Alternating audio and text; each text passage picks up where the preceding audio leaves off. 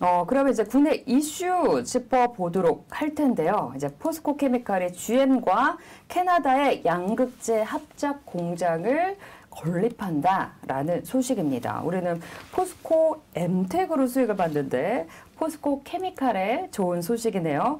어, 이제 2차 전지 쪽으로 뭔가 좀 좋은 이슈가 될까요? 네. 그러니까 지금 포스코 케미칼은 GM하고 이제 양극재 투자를 본격적으로 하겠다는 얘기거든요. 이게 중장기적으로는 상당히 긍정적으로 보여진다 이렇게 말씀드릴 수 있겠고 2차 전지가 이제 하반기에 정상화될 거다라는 전망들이 많이 나오고 있어요. 그래서 포스코 케미칼의 실적을 한번 들어가서 보시면 어, 지금 실적 전망은 역시 굉장히 좋아지고 있다라는 겁니다. 그래서 어, 여기서 지금 보시면 그 작년 4분기하고 올해 1분기를 보더라도 어, 지금 매출과 영업이익이 작년 매출은 이제 작년 수준 정도 유지를 했는데 영업이익은 어, 작년 4분기보다 올해 1분기가 좋아지고 있어. 네. 예, 그래서 250억 정도에서 310억 정도로 올라갔고요.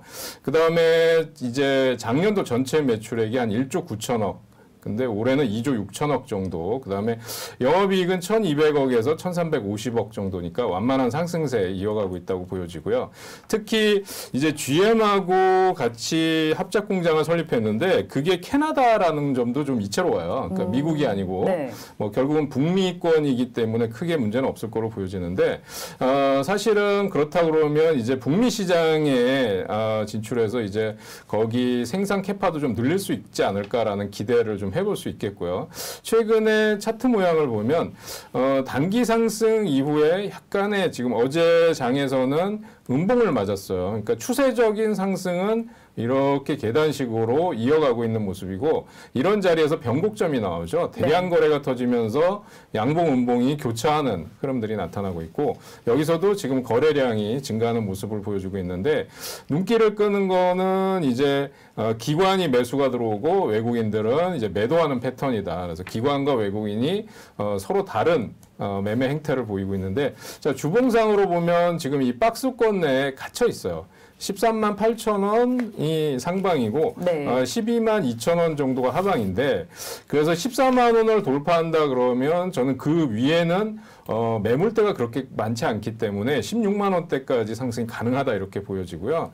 지금 구간에서 보면 뭐 저점 매수 가능하다. 그런데 다만 지난 금요일장에서 보면 외국인 기관 쌍끌이 매도가 일시적으로 나오면서 거래량이 증가했기 때문에 3% 정도 하락을 했어요. 그래서 오늘도 한 2, 3% 정도 하락 구간에서 공략 타이밍을 잡으면 어, 나쁘지 않을 것 같다. 네. 예, 그런 말씀을 드리고 오늘 어. 공략주는 아닙니다. 오늘 네. 공략질은 아니고 네. 가격대가 오면 오늘 다시 들어가 봐도 괜찮을 것 같다라는 의견을 주셔서 이 종목에 관심 있으신 분들은 오늘 또 잘 잡아보셔도 될 것 같은데 문자님께서 어, 문자님은 진짜 별걸 다 기록을 하시는 것 같아요. 포스코 케미칼은 처음으로 수익 줬던 종목이어서 남다른 종목이기도 해요. 그때는 포스코 캠텍이었죠. 네. 저희 이제 굿모닝 증시 라이브가 10월부터 시작을 했는데 그때 또 공략주가 있었잖아요. 처음으로 공략을 해서 이제 수익으로 줬던 종목이라고 와, 또 어, 어떻게 기억하시죠? 다 이야. 기록을 하시는 것 같아요. 진짜 깨알같이 정리 요정이시고요. 이렇게 중간 중간 채팅으로 한 말씀씩 이렇게 저희 방송 정리해 주는 게 진짜 많이 도움이 됩니다. 요즘 댓글로도 또 이렇게 시간 배분해서 저희 직원으로 사람들이 착각할 정도로 그렇게 직원처럼 열 일을 해주고 계시잖아요. 그래서 진짜 많은 분들이 감사하게 생각을 하시고 저도 그렇게 감사하게 생각을 하고 있습니다. 문자님 이렇게 정리해 주신 거 진짜 감사드리고요.